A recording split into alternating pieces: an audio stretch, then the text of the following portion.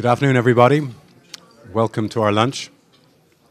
In honor of the Fulbright program, which, as most of you know, dates back to 1946, set up just after a terrible, terrible war where lots of nations spent lots of time and money killing each other.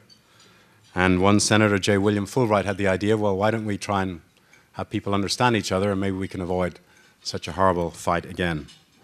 Um, as President Truman, I think, said at one point, if we don't want to kill each other in war, we've got to learn to understand each other in peace.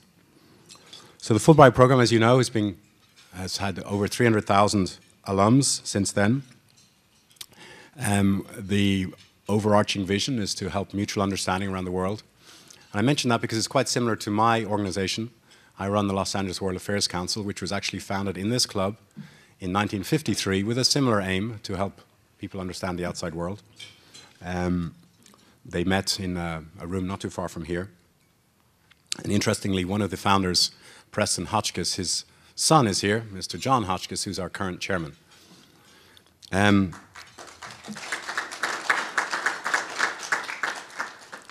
We're on a pretty tight schedule today because uh, Evan Ryan, whom I'm about to introduce, has to make a plane. So let me go straight to introduction there, and, and then we'll introduce some, some other speakers later on. Um, but Evan Ryan is the Assistant Secretary of State for Educational and Cultural Affairs. And as you probably know, it's the State Department's budget that covers the Fulbright program. Uh, she assumed this job um, in September of this year, um, fresh to the job. Um, and she oversees not just Fulbrights, but a wide range of academic and cultural and sporting exchanges um, with, I think, over 160 countries around the world. Um, before she did this job, uh, from 2009, um, Ms. Ryan served in the White House as assistant to the vice president and special assistant to the president on intergovernmental affairs and public engagement. Um, before that, she was deputy campaign manager for the Biden for president for vice president campaign. Um, Ms. Ryan previously served in the White House from 1994 to 2000, uh, where she was Deputy Director of Scheduling for First Lady Hillary Clinton, and she was also Special Assistant to the First Lady's Chief of Staff. Um, she's a Virginia native, holds a BA from Boston College and an MIPP from the Johns Hopkins University School of Advanced International Studies. I give you Evan Ryan.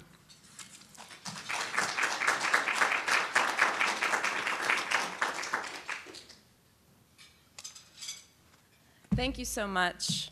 I'm really glad to be with you. Thank you, Terry, uh, for the kind introduction and for having me here today. I'd also like to thank Tom Healy, the chairman of the Fulbright Board, and Laura Trombley for uh, having us and hosting the Fulbright Board and having us here too. As Terry said, I did in September uh, join the Bureau of Educational and Cultural Affairs at the U.S. Department of State. So we, we refer to it as ECA. Um, but by that count, I'm really just in my seventh week of the job. So this is very new. And as I mentioned yesterday to uh, a few people, it's the first, California, and this trip is the, my first trip away from the State Department. So I'm very honored to be with you all today. And I'm, the trip is very memorable for me. And uh, the Bureau of Educational and Cultural Affairs, ECA as I'll refer to it, oversees our public engagement with the world. And our monumental mission is to increase mutual understanding between the people of the United States and people of other countries. We fund and manage, as Terry mentioned, hundreds of academic, professional, cultural exchange programs. And through these programs, we connect with emerging leaders, students, professionals, researchers, artists, athletes, um, from all over the world, and we connect these people to the United States. Last week was a big week for ECA as well. I participated in my first International Education Week and the unveiling of the Open Doors Report. The Open Doors Report showcases how many people are studying in the US and also how many Americans are studying abroad. So we were delighted to see increases in the number of foreign students studying in the US, as well as an increase in the number of American students studying abroad. Of the 820,000 international students in the US, altogether with those students studying from abroad in the US, total they contribute $24 billion to the US economy. And of those, 110,000 students are in California, the most of any state.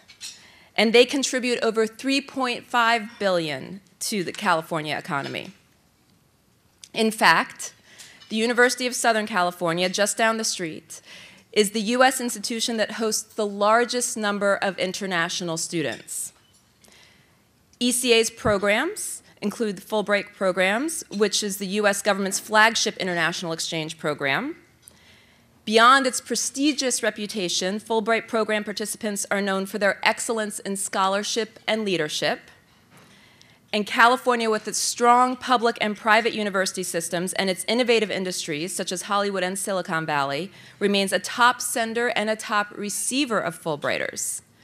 The reason for this, I, I, have one of the reasons for this is, is sitting right in front of us here. that's Pitzer College, whose president, Laura Trombley, is one of our hosts today, and for the fourth consecutive year is the top producer of Fulbright students among all US colleges in the bachelor's institution category, which is really amazing and really a tribute to Laura.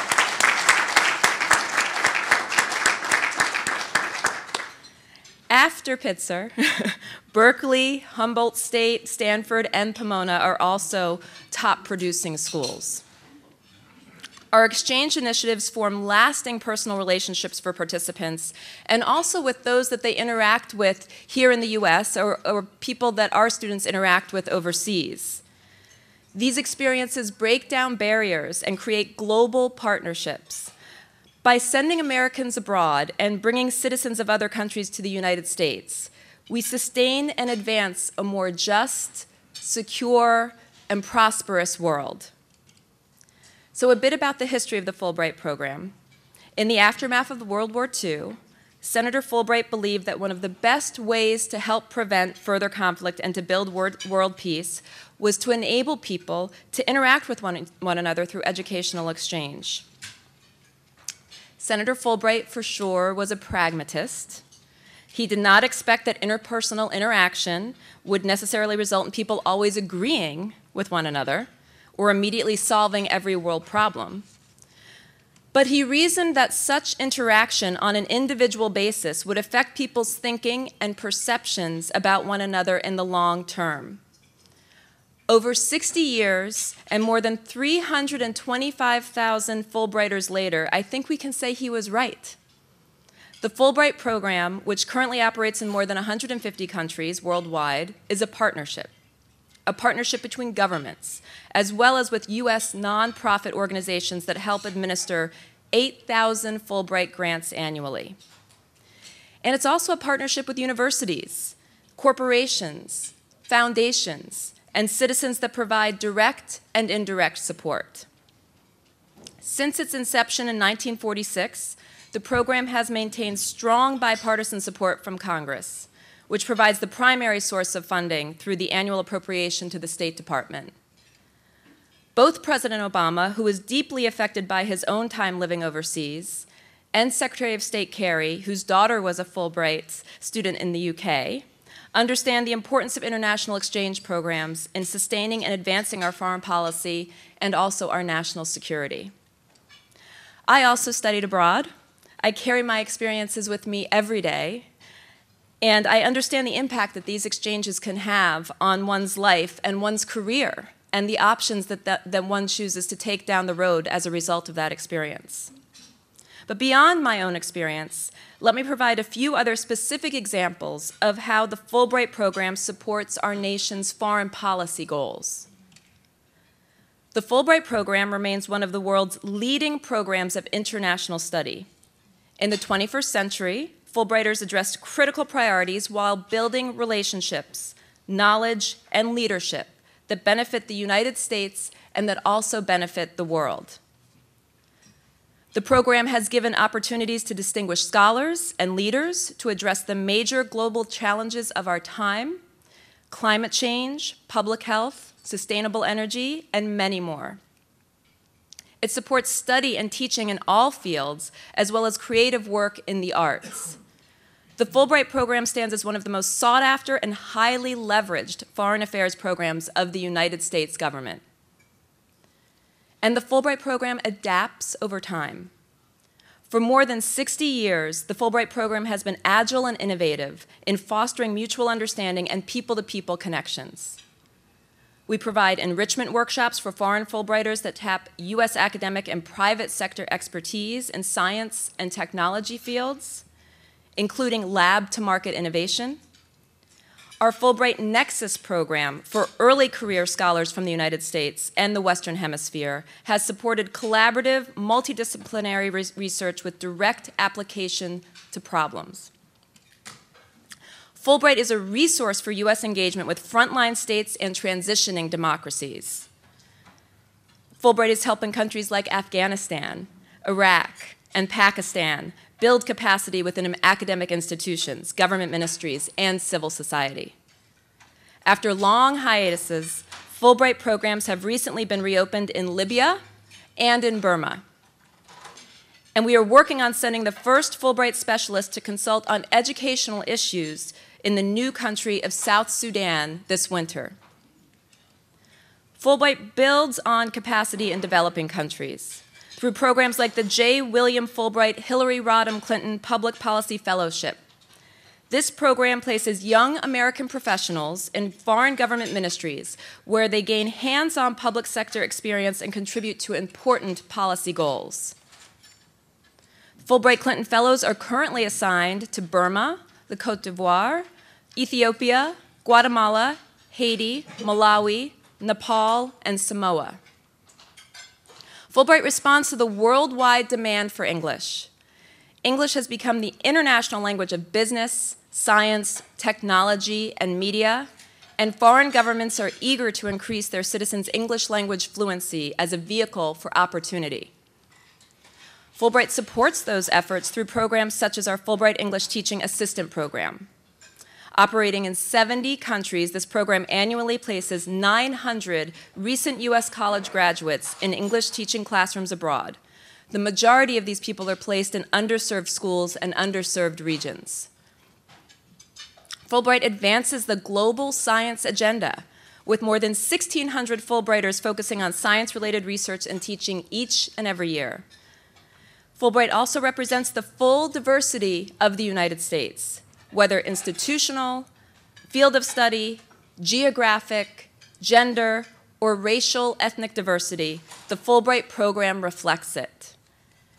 Fulbright outreach and recruitment efforts target underserved communities, rural areas, minority serving institutions, and community colleges to ensure that all applicants have equal access to this merit based program. Special efforts and funding are also made to offer opportunities that are inclusive for people with all types of disabilities. Even in my short time leading the Bureau of Educational and Cultural Affairs, I have already noticed a trend when it comes to Fulbright alumni. The program clearly pays dividends over the course of a lifetime. Fulbright alumni have gone on to achieve distinction in government, in science, the arts, business, philanthropy, and education. Among the ranks of Fulbright alumni are 45 Nobel Prize recipients, that's quite a number, 28 MacArthur Foundation Fellows, 80 Pulitzer Prize winners, and 29 current or former heads of state or government. It's really an amazing number. One of this year's Nobel Prize winners, UK physicist Peter Higgs, was a Fulbright scholar at the University of North Carolina. So I'd like to close today by thanking all of you for your engagements on, on, world issues. All of you here I know are deeply engaged and interested in the work that we are all doing. And I want to thank you also for your contributions to increasing understanding between the United States and countries all across the globe. Some of you may have hosted international students or visitors at your organizations or your homes. Some of you may have traveled overseas on academic and professional exchanges yourselves. My hope is that regardless, you encourage students and young people that you meet to explore this option. I think it's more and more important in the world that we live in today. As our economy becomes increasingly globalized and technology continues to shrink the distances between us, it's essential that Americans be even more engaged with the world around us. And international exchanges, in my view, are the best tool to do that. So we have to do this, and I would love for, to have your help. Thank you again for having me. Enjoy your lunch. And it's so lovely. I wish I could say I'm so sorry I have to go to the airport. Thank you all so much.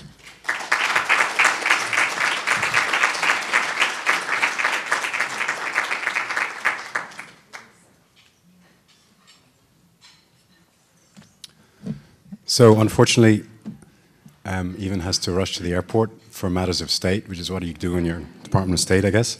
Let me just uh, outline what we're going to do today, um, the rest of the program. Um, Tom Healy, who's chairman of the Fulbright um, board, will come up and talk, and then uh, Laura Pitzer, will, uh, Laura Trombley will talk about Pitzer. I'm sorry, um, slip of my tongue. And then we're going to have a panel discussion here. We'll have uh, uh, three people sitting up here, um, including Paul Kim, who's a, a Fulbright alum himself, and we'll be soliciting questions from the floor. But let me first int introduce Tom Healy, who's chairman of the Fulbright Foreign Scholarship Board, which oversees the Fulbright program worldwide. Um, Tom was appointed to the board by President Barack Obama in 2011.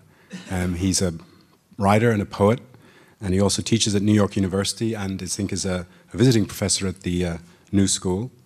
Um, he's the author of two books, Animal Spirits and What the Right Hand Knows. He served on President Clinton's Presidential Advisory Council on HIV AIDS, um, and he worked on AIDS prevention anti poverty projects around the world. He served as president of the Lower Manhattan Cultural Council in the years after 9 11. Those challenging times. And he was awarded the New York City Arts Award by Mayor Michael Bloomberg in 2005 for leading rebuilding efforts for the downtown arts community. He studied philosophy at Harvard and received his MFA in creative writing from Columbia. Ladies and gentlemen, Tom Healy.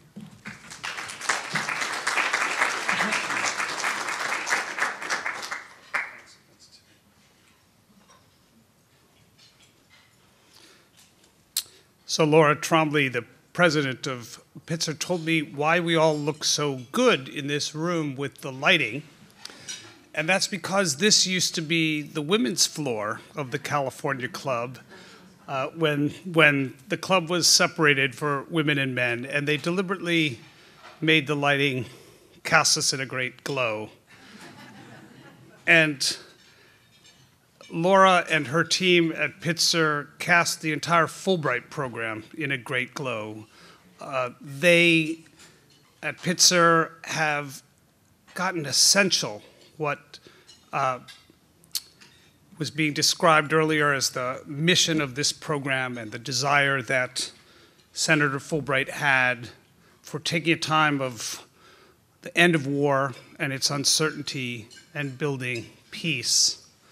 You know, it's uh, today is the 100th, 150th anniversary of another speech, and people are gathered in rooms like this and on battlefields all over the world, and certainly at Gettysburg, Pennsylvania, where those just more than 250 words were delivered by President Lincoln at a time when it looked as though finally the war was going to turn, and he could imagine the possibility of healing and bringing together an America.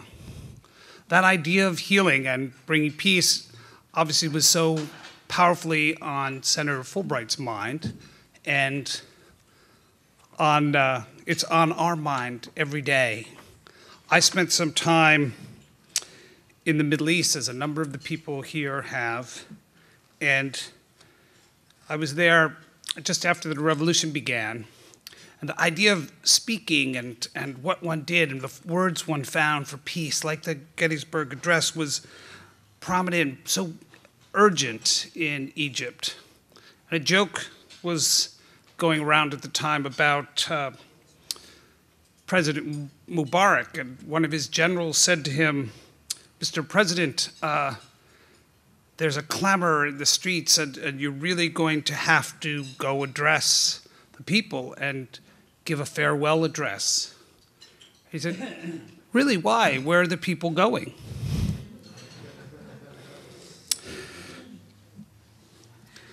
I remember the California Club so strongly because I was first introduced here 1986 by Kevin Starr, who is the historian of California, extraordinary man.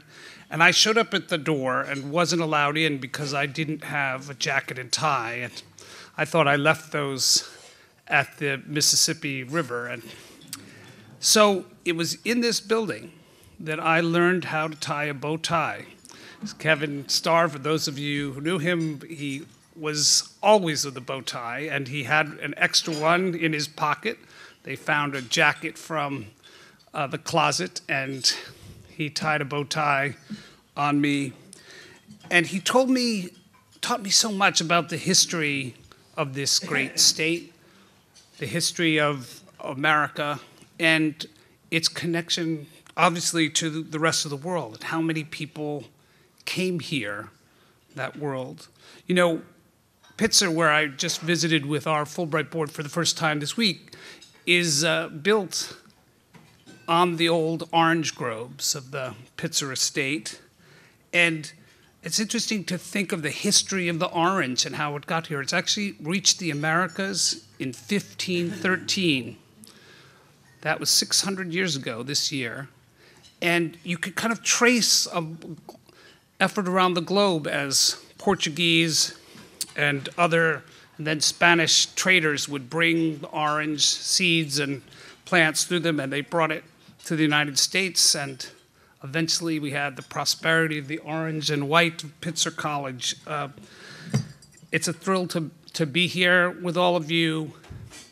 It's a thrill to be one of 12 colleagues on the Fulbright Foreign Scholarship Board. And if I may, uh, just ask them all to rise so we could, could meet the other people who I am only one among equals on this uh, extraordinary board. And so here, let's.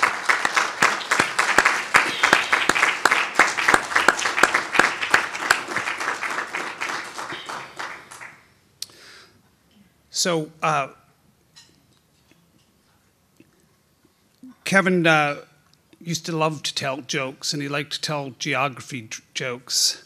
And this is our first time meeting in Southern California in I don't know how long. We met in Northern California in the early part of uh, 2000. So we thank Laura for bringing us here to Southern California. But I remember that um, Kevin used to say, well, he knew a geography teacher and was always uh, asked to share their students' knowledge. And she said, Well, here's what I was told on some exams uh, that Don Juan is a town in the West Indies. The general direction to the Alps is straight up. And to reach America, cross the Hudson River. And that much is true I crossed the Hudson River to come here, and uh, we have reached America, and it's in this room, and we're thrilled to be here. And I'd like to ask our host, Laura Trombley, to say a few words. Thank you.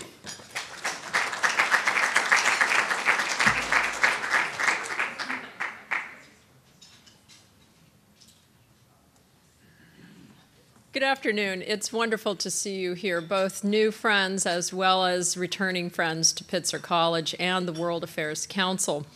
Today, I see our luncheon the perfect culmination of time, place, and purpose.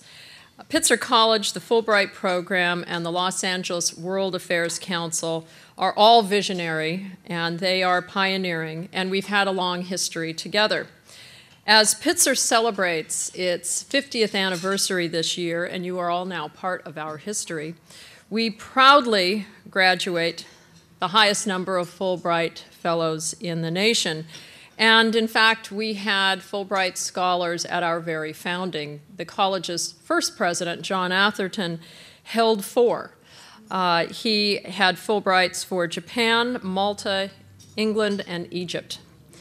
When Senator Fulbright actually spoke at the California Club in the late 60s as chair of the Senate Foreign Relations Committee, he described foreign policy as the summation of all the nation's policies defense, economic, agricultural, and above all, educational. He believed that education makes us all travelers, and that to truly achieve mutual understanding in the world, we must experience it firsthand and in depth. Pitzer shares Senator Fulbright's faith in the power of human to human interaction. And our commitment to the Fulbright program stems from our belief that what draws students into the classroom, the deep desire to learn, should also be what propels them out of it the desire to cross borders to meet people and gain new perspectives. Study abroad has always been part of Pitzer's academic fabric. And in the fall of 1964, when we welcomed our first class, this very small group of women, we were a women's college in those days, included students from Guatemala, Japan, Panama, Sweden, and Uganda. By 1965, Emerita alumna trustee Deborah Deutsch Smith was our first student to study abroad in that exotic country, Italy. And in those days, our study abroad program consisted of her being given a round trip ticket and being told to learn. By 1974, the college had established its own study abroad program in Nepal, and this year we also celebrate 40 years of an absolutely exceptional program that has been transformational in our students' lives.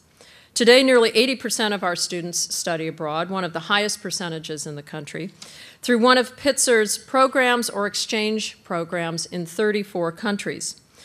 Since our founding, we have graduated 176 Fulbright Fellows, held over a dozen Fulbright Scholars among our faculty and administrators, and last summer we received a Fulbright Hays uh, scholarship that allowed area middle school and high school teachers to travel with our faculty and students to Nepal for a five week stay. The purpose was to start understanding how our countries are connected and to introduce the curriculum and content into their courses in the Ontario area. We at Pitzer learn about the world with a non traditional lens, and our communitarian spirit embodies the Pitzer Fulbright connection, and we have been led in developing and strengthening this connection by Professor Nigel Boyle, who is the director of our Global Local Center, and he is the guiding force for all of our Fulbright scholars. And I'd like to ask Ful uh, Nigel to just rise and be recognized.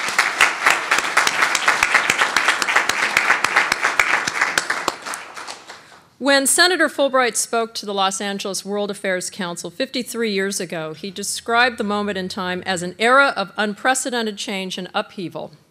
Well, I'm glad we're past that. In our own era of unprecedented change, I hope you feel as I do that the Fulbright program has contributed enormously to strengthen our relations with the rest of the world, sometimes one person, one project at a time sometimes with fundamental policy shifts that make us reimagine the map, giving us reasons to be optimistic about our future. We decided at Pitzer that we wanted to put this optimism to film, and we're debuting a film that was produced by our Office of Communications, led by Vice President Mark Bailey. And in this film, we have asked some of our Fulbright alumni to describe how their Fulbright experience transformed their lives and changed their ideas about how to best live as individuals as well as members of a global community. And so please enjoy, and here is the debut of our Fulbright tribute. Thank you.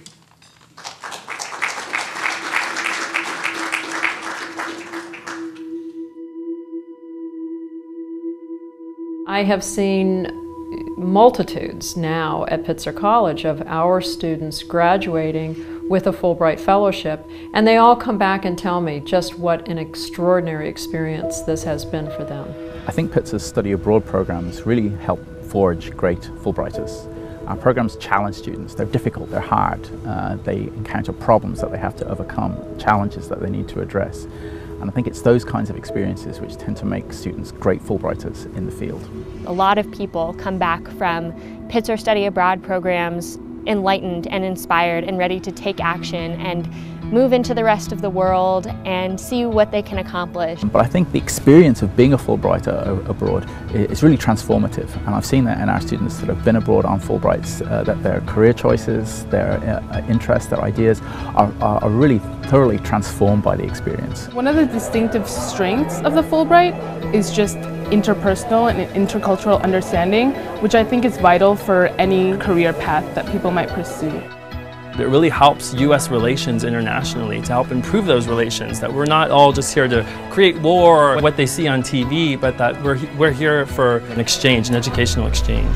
Their idea of American is, you know, blue eyes, blonde hair. I guess I sort of broke that stereotype. The Fulbright program has students of every kind of socioeconomic background. They started understanding that, you know, America's more, you know, it's not just what they see on TV and Hollywood film, is actually much more diverse. There's no substitute for people from different cultures, from different backgrounds, different languages, meeting each other and people being put into wholly new circumstances where they get to help people in need, teach them a language, learn from them, make the world a little smaller.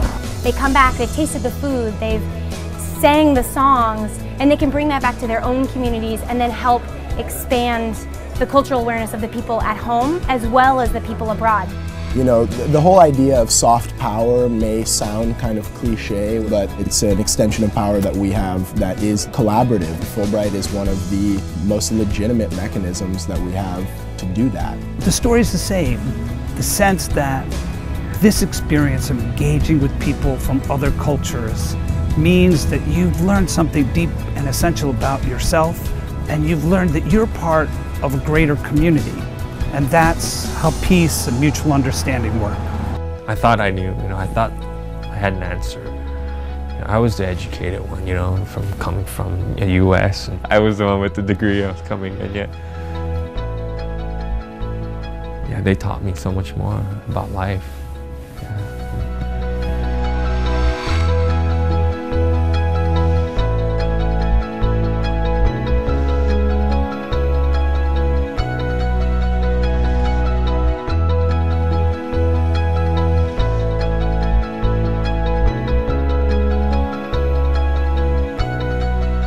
Hope is that we as a country realize just how important this program is and fully support it.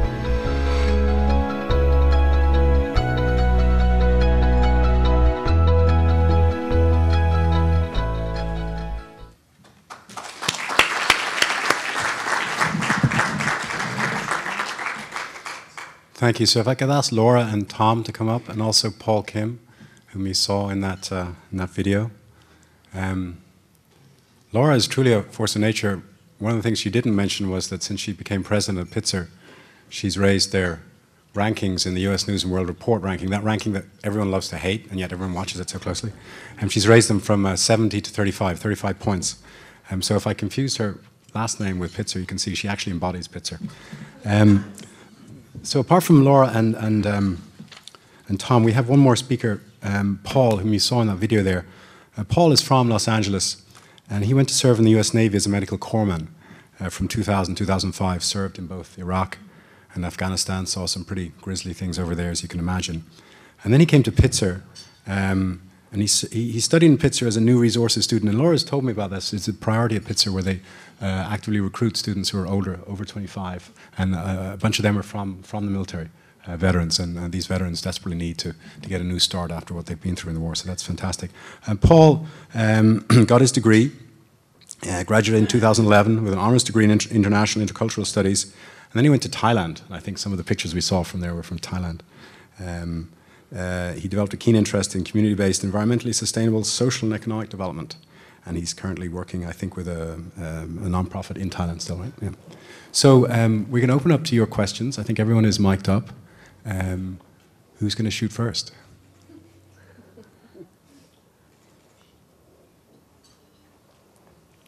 Well, I'll break the ice.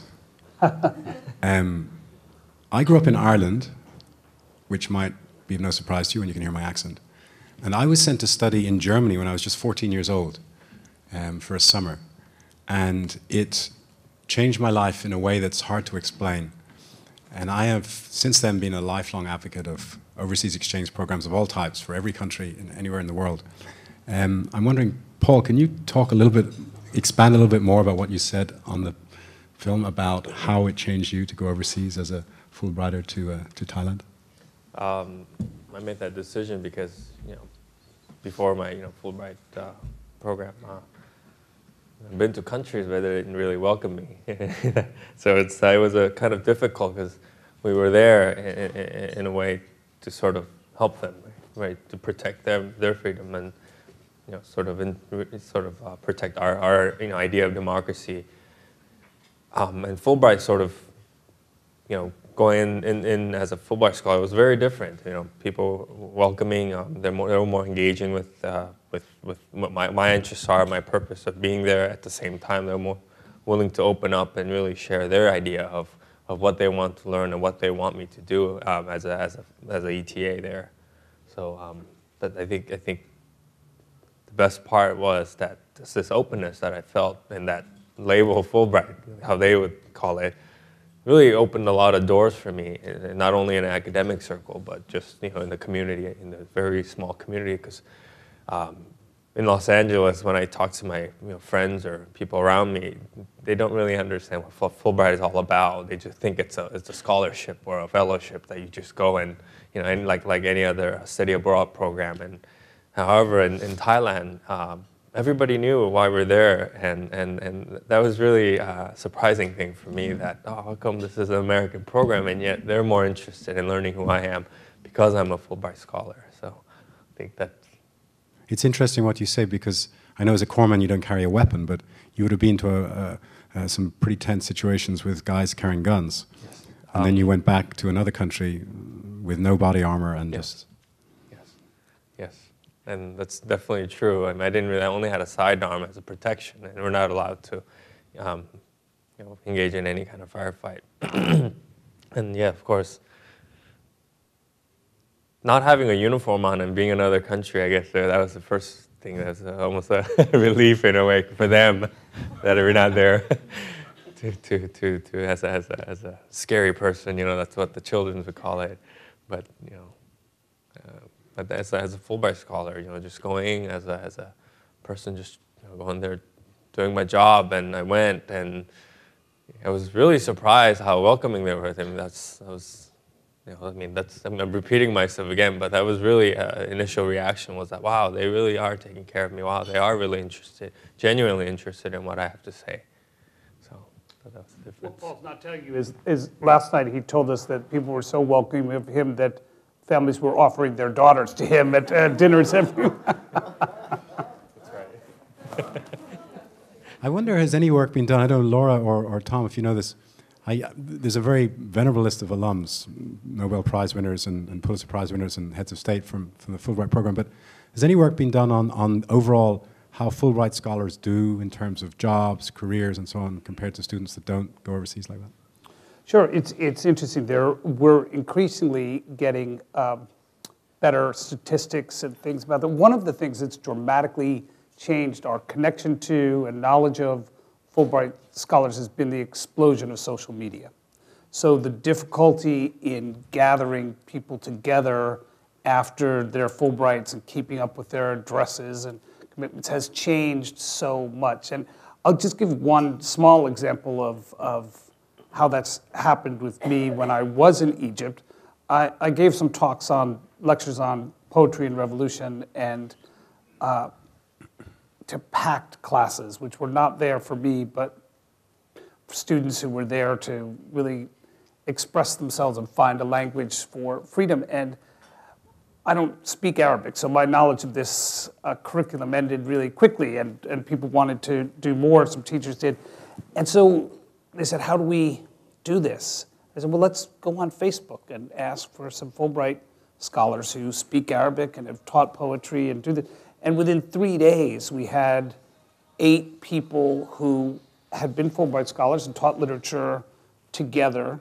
And everywhere I go around the world, you see this happening where people now, as Fulbright scholars, can find one another and can share projects. So when I first joined the board, Secretary Clinton was there.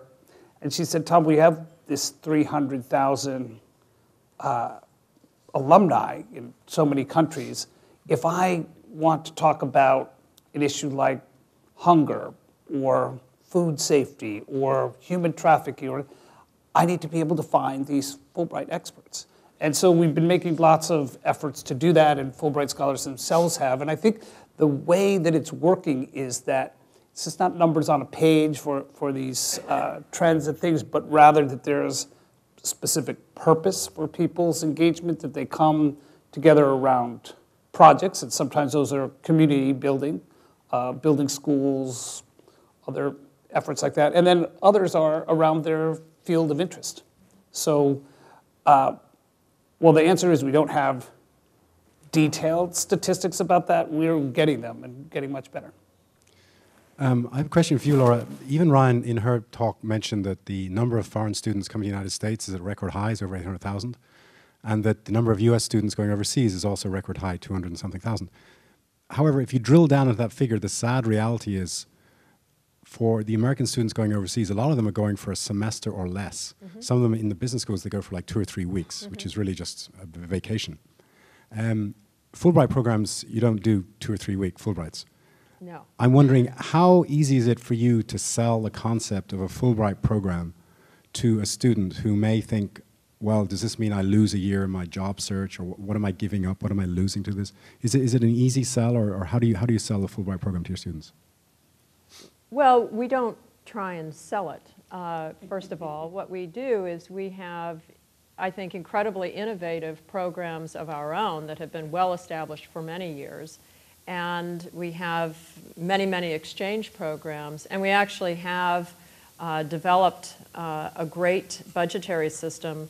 So if students are genuinely interested in traveling abroad, as one of our uh, alumni said, last night, she was able to go abroad three times to three different countries.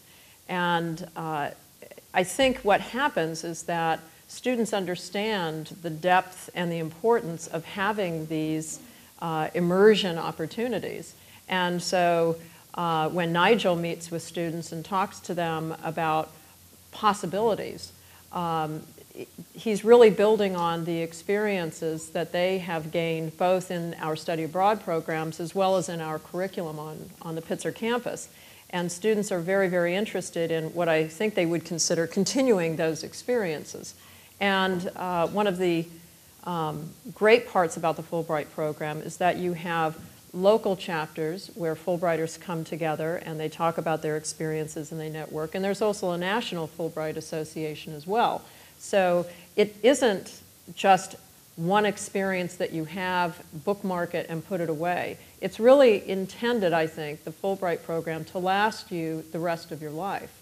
And uh, we're very interested in trying to maintain those relationships uh, because I do think, based on my conversations with individuals uh, on our campus who have uh, been awarded Fulbrights as well as nationally, um, they do have a very particular perspective. And uh, yes, it's transformational. Yes, they are doing good things in the world, but they also bring an added depth to conversations. And so I think Pitzer students, since of course I think that they're the best students in the country, um, they realize that. And that's one of the um, strongest aspects of what we do at Pitzer College. And I, I, forgot to mention, for those of you who may not be as familiar with Pitzer College as some of us, Pitzer is a college of a thousand students. Uh, and so we have what I refer to as the ripple effect. And so our brilliant alumni go and affect many, many, many other individuals because the point of the Pitzer education is not just that it is transformational for yourself, but you have a responsibility to go out and try and create positive change wherever you go. Did you want to jump in? I'd like to address that a little bit too because uh, Pitzer is something we're so proud of and learned a lot about how it doesn't take just a village here, it takes a whole community and a university that's created an atmosphere for, for this kind of international engagement. But there's something serious, uh, I think, behind your question about the kind of engagement American students have with the kinds of loans that students have and the kind of career expectation and anxiety that exists now, we actually do find that there is a real challenge for a number of students to contemplate doing this. And one of the great hallmarks of this program, and I'm just so proud of, of the, this program over this amount of time, but all the people who work for the State Department here, is its commitment to diversity, geographic diversity, socioeconomic diversity, gender, the range of commitments to get people who might not have been the typical ivory tower Fulbright uh, scholar uh, person. But so you have people who are first generation college graduates. And you, uh, I was told this actually by the Fulbright director in Nepal, where, where Pitzer has a terrific program. She said, you, we have a lot of trouble, she said, getting African Americans and Hispanic Americans to come to Nepal. It's usually Caucasians and somewhat some Asian American students. And I said, So what's the challenge? She said, Well, we, we talk to them, they'll say, All right, I'm the first person in my family to go to college, or I have these loans. And then I say to my family, I'm getting a Fulbright scholarship. And they say, You're going where? To do what? You know, with the expectation for success and career and often helping support a family that uh, depends on your progress for them is something that's critical. So there is an education element.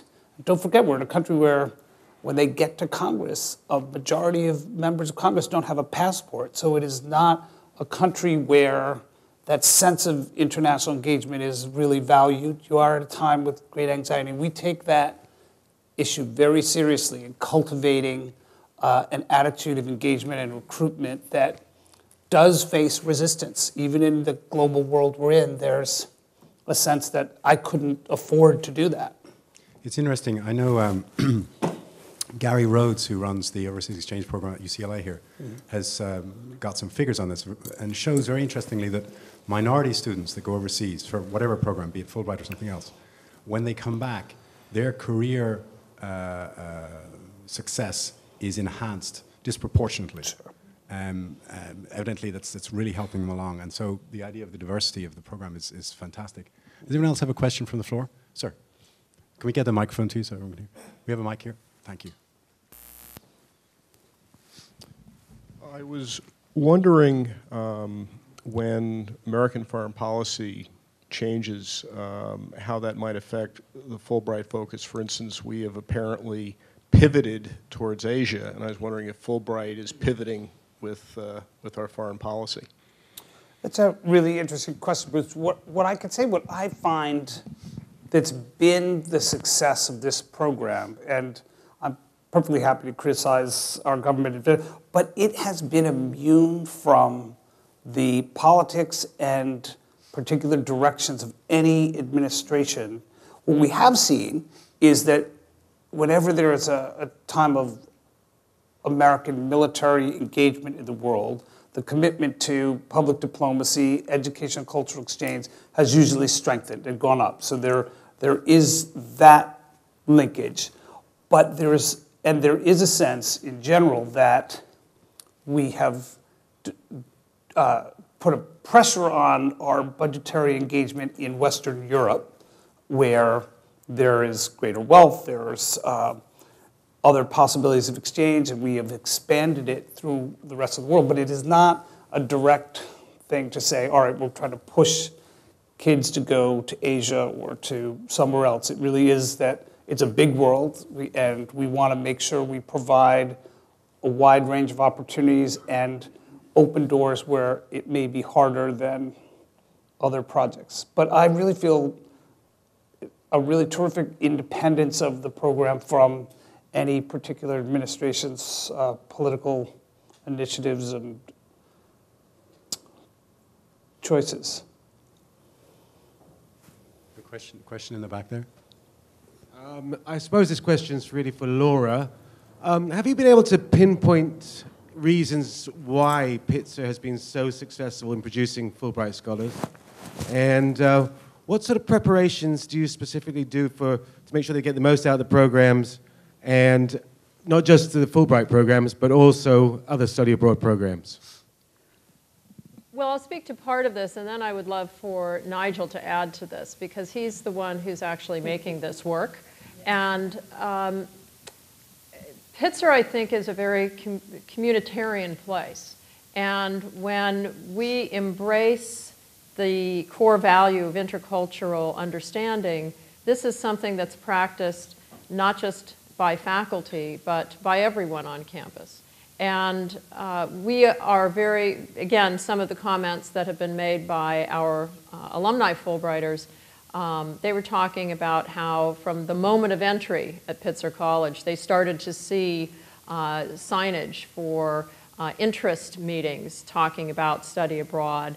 Uh, Nigel has done enormous outreach, inviting people to come and uh, talk to him about the Fulbright program. So this is something that starts from the moment that students arrive. We have, I think, a very um, global curriculum. We have very few gen eds, so students have to be very proactive in their choices, and faculty are their mentors, and they work with them to try to deliberately broaden their intellectual horizons.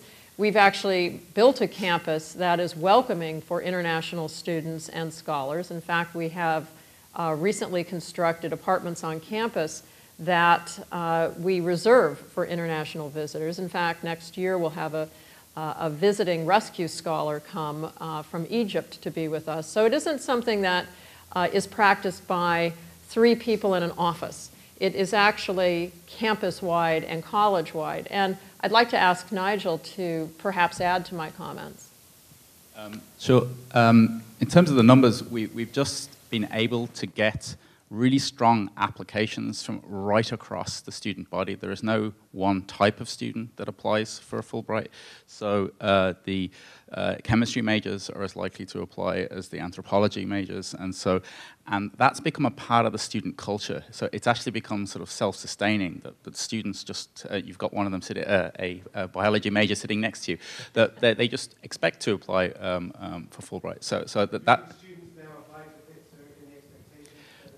Now they do. Uh, in the last few years, uh, I find prospective parents uh, will be contacting me.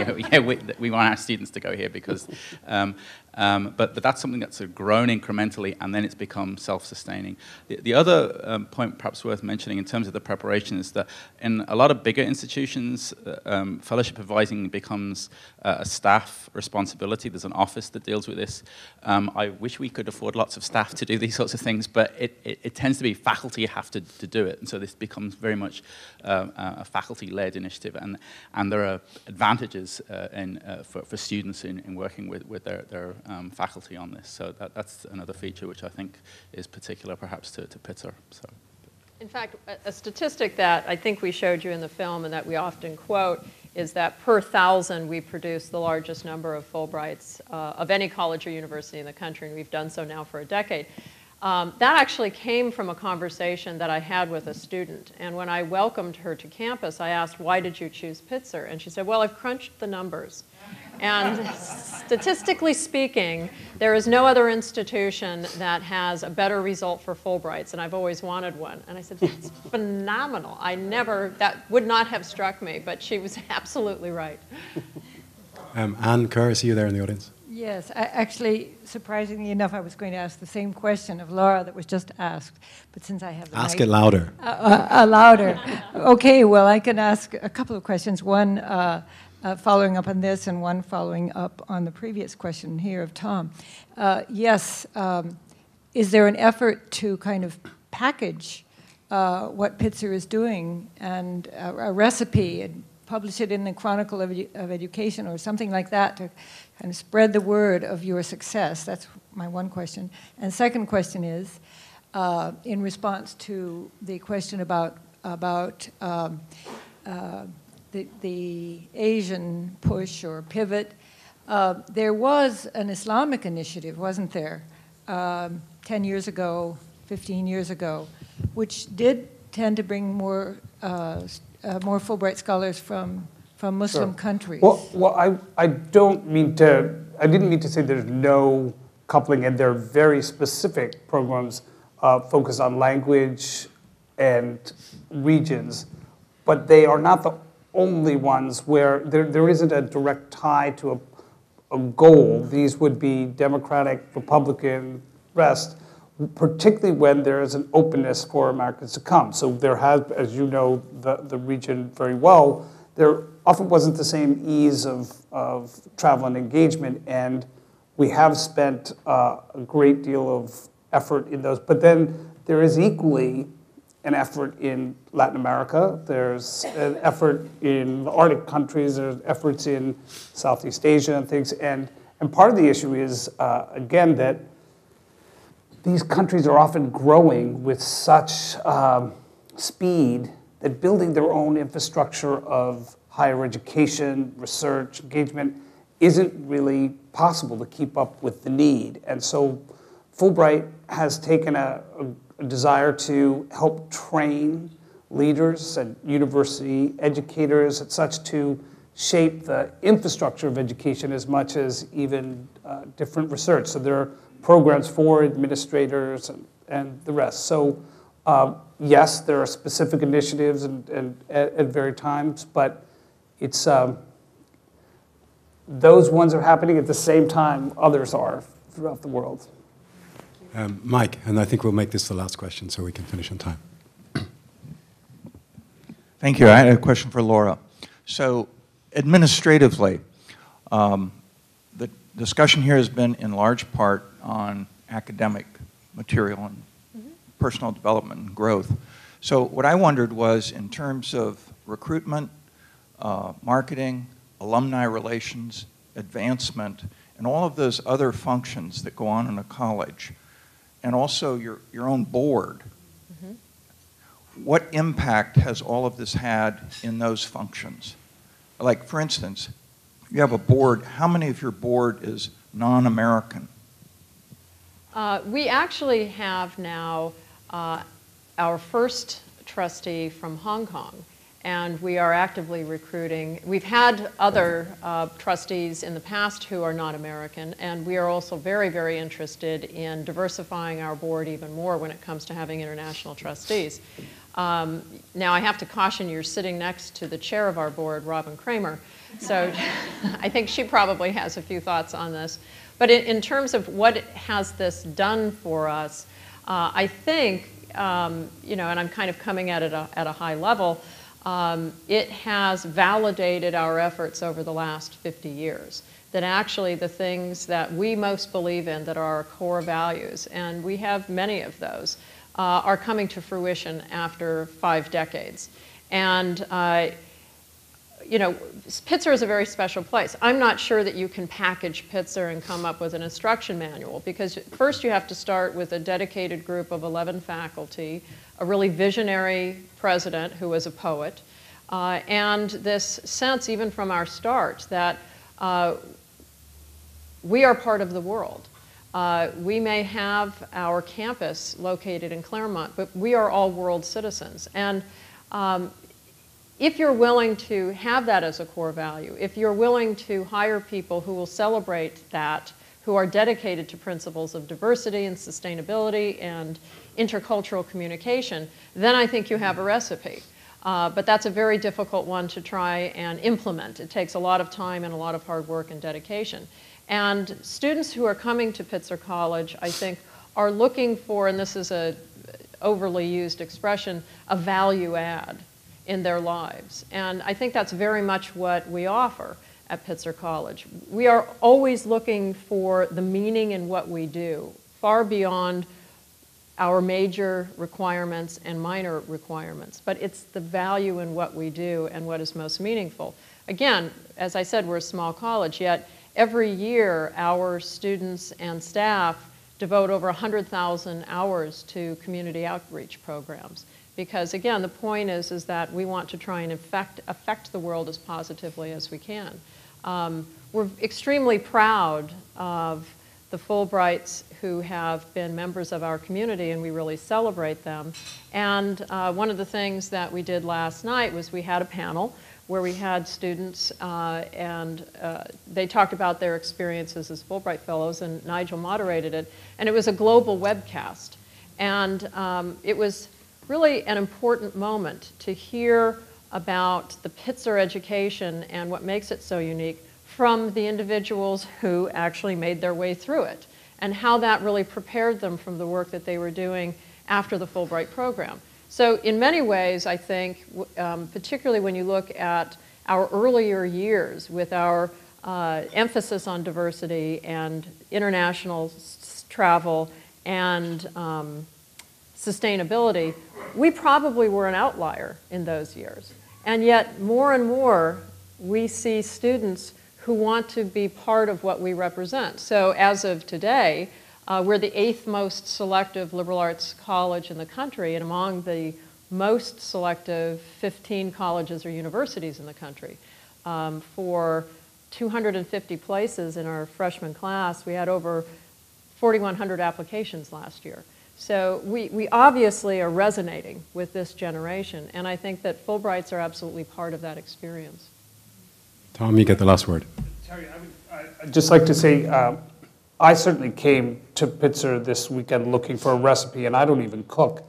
Uh, but here's, as, as an outsider, after just two days, but watching this panel, talking to students and faculty, I, one thing that I would say seems unique about Pitzer, in addition to all the things that have been said, is even with the competitiveness of the Fulbright program, hearing Paul and hearing the other students last night talk about it, they supported one another. It wasn't an individual applying for a Fulbright. You really felt this community spirit of engagement, and it wasn't a zero-sum game of I win a Fulbright, someone else doesn't. I, I would have thought, you could imagine in certain colleges where you know, you almost have a thermometer of what's the goal of number of Fulbrights and how do we get them, and then that almost becomes a zero-sum game. If you get one, I don't. That wasn't the attitude here at all. And I do think it's about the whole culture of engagement with the community, both locally and globally. And Paul, maybe you can tell us if, if I'm crazy about this, but it really just seemed that it was part of a sense of we're all engaging with the world, and Fulbright's one tool, uh, and not being on your own to apply for it. I thought that was a lesson that we could use throughout the program in, in strengthening it, looking at uh, students working together on that rather than individually. That's absolutely true because uh, even now I still get uh, emails from you know students I never met asking me, "Oh, what, what, do you need to do to get this Fulbright?" And I said, "Just be yourself and you know attend uh, Professor Boyle's uh, class." Well, on that note, let me um, thank the State Department staffers who made this possible. Uh, Tom Healy and the Fulbright Board, Laura Trombley, Nigel Boyle, and Melanie Lacey from Pitzer, who did so much to, to set this whole lunch up. Uh, Paul Kim, their alum, for talking to us. From me, Terry McCarthy, at the Los Angeles World Affairs Council, my chairman, John Hotchkiss. I have two other board members here, Don Vinson um, and Andrew Tabacoli. And we have Mike Warder, who's on our international circle. Thank you so much all for coming, and have a good day.